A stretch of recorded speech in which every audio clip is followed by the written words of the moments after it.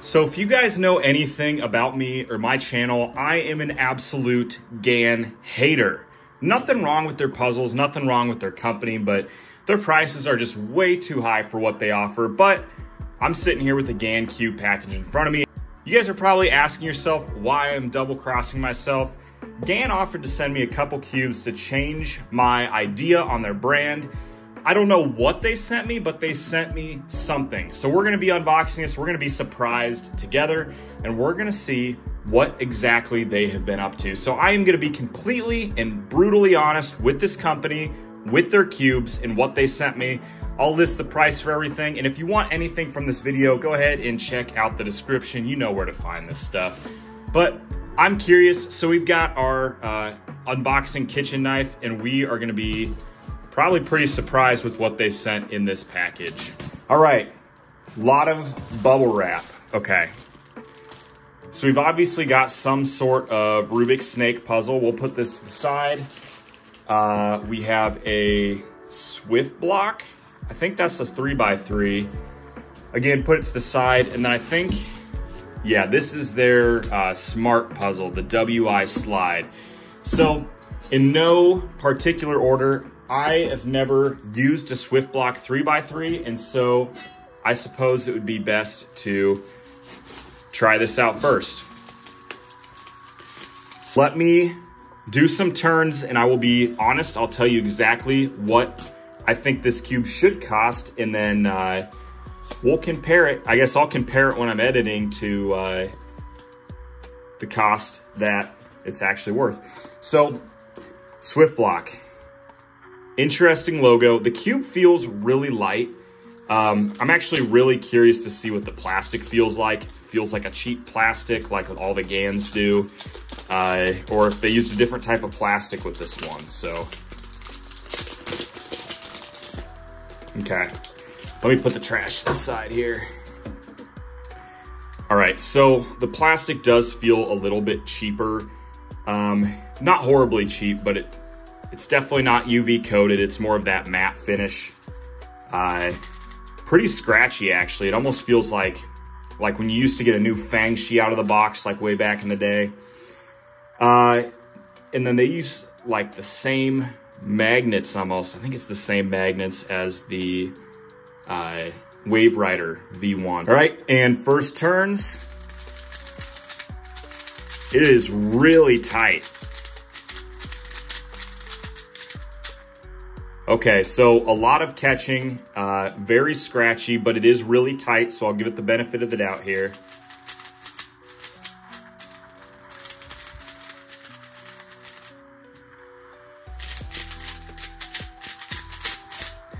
Um, and the thing was, in the box, there was no tensioning tools, uh, instruction pamphlet, or anything. So I'm actually curious to see what the tensioning system is, if it's maglev or if it's Okay, so it is screw based with, I think it might be adjustable magnets.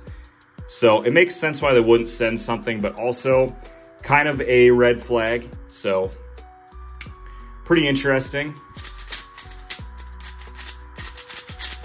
Okay, it is getting faster the more I'm uh, turning it.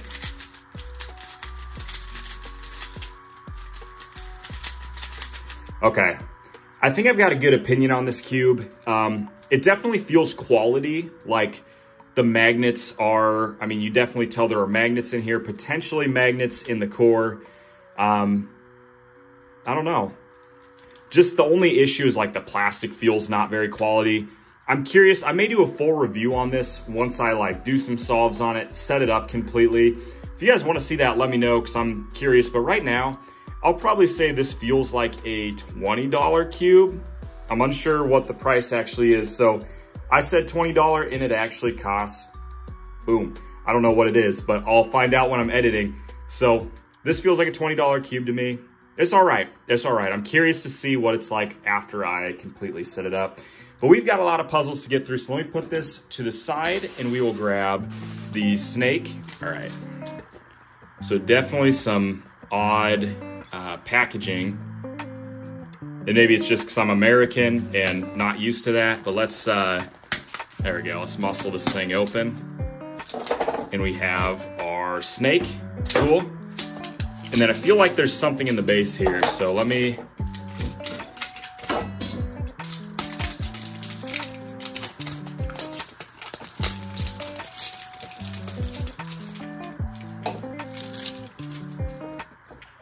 All right, so the base does open up and we have a cube bag.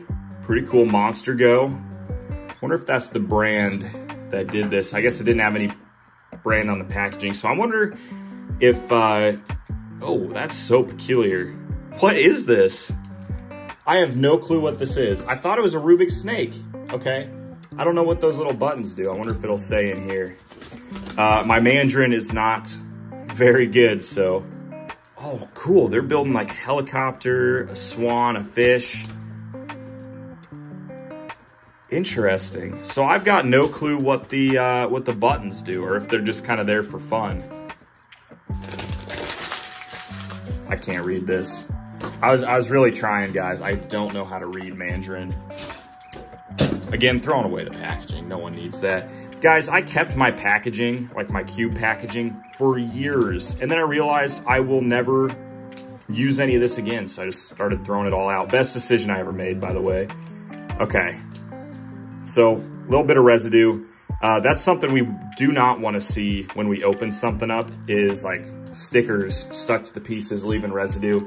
Not good, but pretty easy to get off there actually. So we'll give them a pass. So let's open this thing up. And uh, right off the bat, it is not a Rubik's Snake because all the pieces are stuck together. So I wonder, interesting. So it looks like I might have broke it. Maybe, let's see. Okay, so I pushed the piece and pulled a little bit and this came apart. Uh, so I don't know how to get that connected back on, in full honesty. Ah, okay. There we go. I figured it out. I figured it out. So to fix this, you got to push in on the circle side, put that in the notch, and then snap them together. Pretty cool. So again, a Rubik's Snake. I've only had one, and it was like a 1970s like Rubik's version.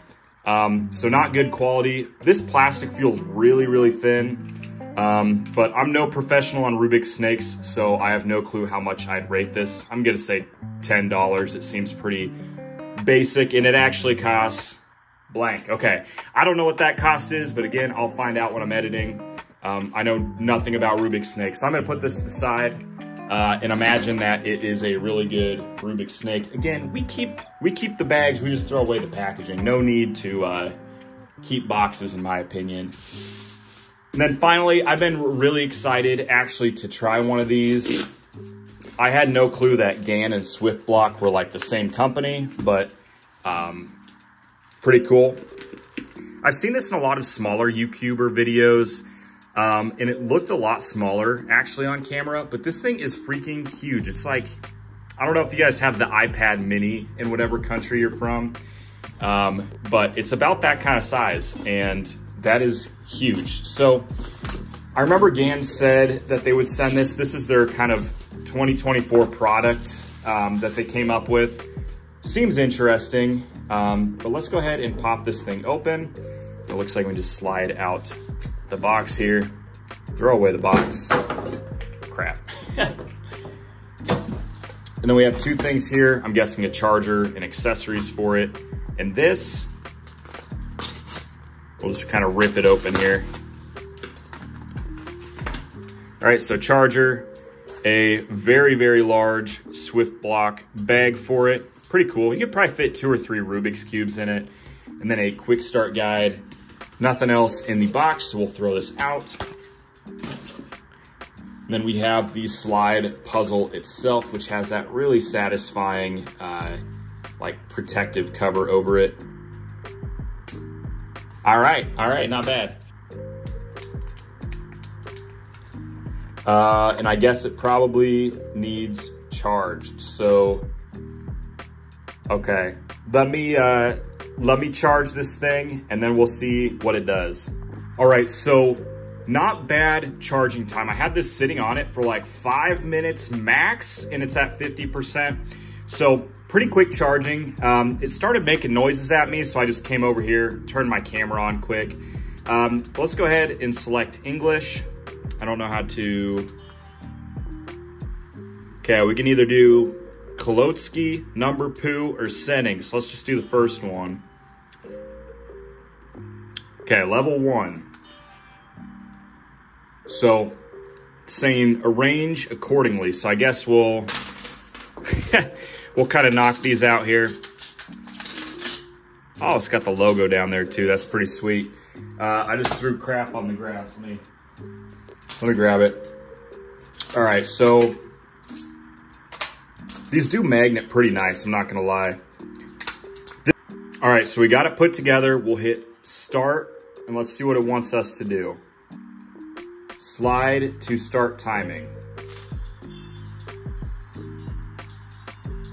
Okay, so I started the timing. I don't know what I'm supposed to be doing. I'm guessing we have to arrange it to a certain pattern, but I've not, it doesn't tell us like what pattern we need to arrange it to. Okay, I've done this for about a minute. I have no clue what I'm supposed to be doing, so let me Google some instructions for this. Okay, so I'm now just about three minutes in on my like eighth attempt. Apparently this piece needs to be here, which I don't know if I'm just bad at this, but I'm on apparently level one. I don't know, I don't get it.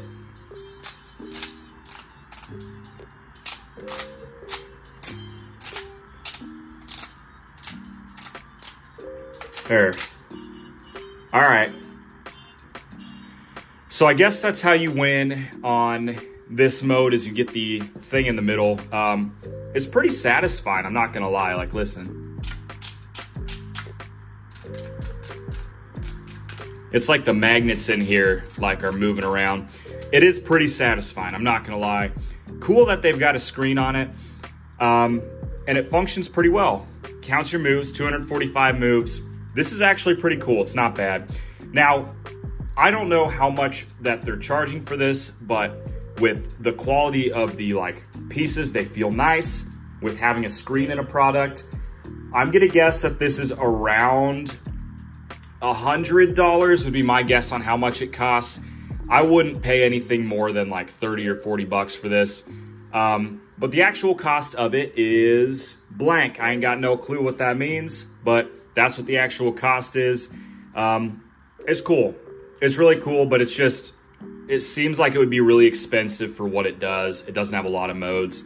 Now, I know it does connect to like iPhone, iPad, would be cool. Again, I can shoot a full review on this if you guys want to um, see everything it does.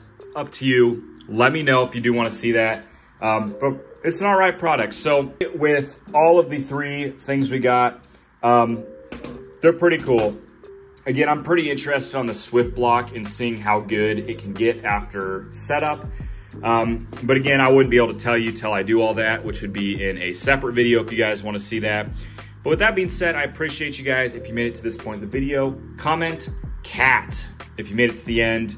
Uh, appreciate y'all for watching, and we'll see you in the next one. Peace.